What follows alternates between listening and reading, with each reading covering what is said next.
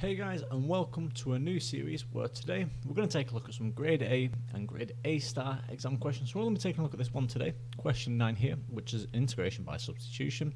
But in the series we're going to take a look at several other types of questions involving differential equations, integration, differentiation and tons of other stuff. So in this question here, we're, we're told to use a substitution u is equal to 4 minus the square root of x to find the integral of dx divided by 4 minus the square root of x, and this is for 6 marks. So just ignore this line here, it's a bit of a follow-on, but we're only looking at part A today. So this integral looks a bit funny. We have dx on the top, and we're using this substitution here, u is equal to 4 minus the square root of x. So you've got to think about what this dx is doing here on the top, and it's nothing too crazy. All that it's saying here is that they've multiplied across by the dx to keep it on top of the fraction. So 4 minus square root of x. So how would we write this? Would just be as a multiple, uh, sorry, not a multiple, but a, you know, timesing it by it. So it's going to look like this. It's going to be 1 over 4 minus square root of x. Like that. And this is dx. So this is what they're integrating with respect to here, with respect to x. And this is why it goes on the outside here, but it'd just be the same as writing as 1 over which is why it becomes this, right?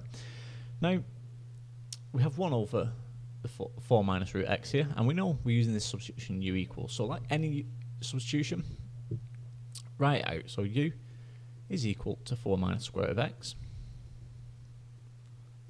So the first thing we can do is work out the derivative of u. So u prime. So the 4 is just 0 when you differentiate it, minus the square root of x. So remember, the square root of x is x to the power of a half, and then when you differentiate this, so this is going to still be at negative, so what we're going to get here now is going to be minus x to the minus half. So if you take 1 from a half, you get minus a half. And this is divided by 2. So that's the first bit. Now, let's carry on with this. So this would be dx because this would be du by dx. So I'm being a bit naughty with my notation here. This isn't technically correct, but I'm going to write it in this form just to make it easy.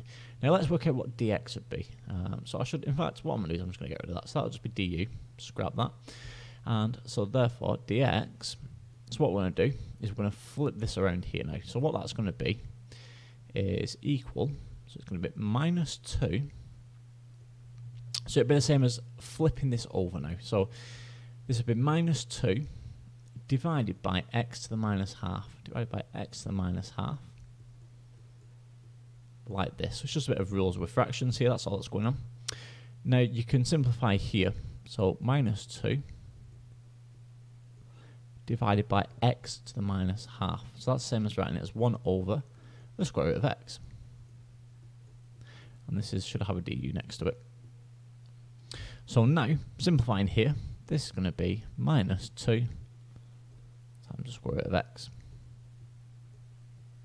Like that. du. Um, oh no, sorry. Yeah, yeah, du there. That's fine. And this is dx. So just so we don't get confused, I was looking for that bit there. So dx is equal to this. And it's important that we work out dx. So we need to apply this back into the integral here now. So now we've worked out the necessary, like, you know, second secondary steps to it, we can put it all back in and see what we get. So going back to our integral now. So we're integrating 1 over 4 minus root x dx. So we know 4 minus root x is u. So this is the integral of 1 over u dx, where dx is minus 2 root x. This is times minus 2 root x du. So now we can just do a bit of simplifying here. This is the integral of minus 2 root x, if you multiply across, minus 2 root x divided by u du. So at this point, this doesn't look like we're going to get any closer. How do we move from here? Well, this minus 2, this constant here, we can move it on the outside. Remember, just for our integration, you can treat it as a multiple of it. So this becomes minus 2 lots of the integral. So now I've got root x, so this is minus 2 times the integral of root x divided by u du. Now remember, root x, so if u is equal to 4 minus root x, then root x is going to be equal to 4 minus u. So now we have minus 2 times the integral of 4 minus u divided by u. This is still with respect to u. So now we've got we can simplify here. This is the key bit now. We've got it in 4 minus u divided by u. So treat these as separate fractions. This is the same as 4 over u minus u over u. And we can separate these now. So what this is going to look like if we separate this.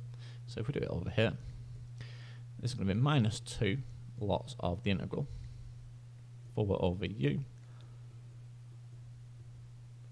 And this is going to be minus u divided by u. But because this is minus 2 times this integral, which is going to become minus 1, I'm going to just multiply through already to give me plus 2 lots of 1. Now this should all have a du at the end. And what we can do here now is just integrate. So if we integrate these now, what I'm going to do is just quickly rub out up here. So we'll quickly rub out up here. We can just move it up here. So doing that, what we're going to get here now so this again, we can move the 4 out, so this would be minus 8 lots of 1 over u. So minus 8 lots of 1 over u. Remember, if you integrate 1 over u, that's just ln u. So what we have now is minus 8 lots of ln u, like that.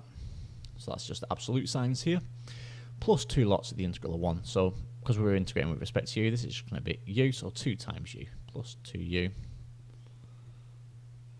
and remember, the constant of integration, we have no limit, so we need a constant of integration plus c. And to finish this off now, where you've got your u, subbing back what we had here. So u is equal to 4 minus root x, wherever there's u, plug that back in. So what we have now, finally, is minus 8 ln. So the u now is 4 minus root x, so 4 minus root x. Like that plus 2u, so plus 2 lots of 4 minus root x. 4 minus root x plus c. And there we have it guys, that form there is absolutely fine. You could multiply this through to get plus 8 minus 2 root x, and then because obviously we've got a number plus c, we can just change that to plus k. Um, but this form is absolutely fine as well guys, so this is what we're aiming for here. And there we go, that's the first question done in this series, so I hope that's okay. Quite a tricky integration by substitution, but nothing too ridiculous, but I hope that is okay.